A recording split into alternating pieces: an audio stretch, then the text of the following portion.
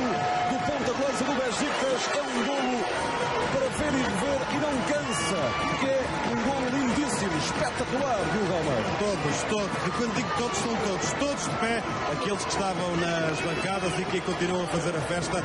Golo do Galmeiro, um grande momento deste jogo. Também um grande golo.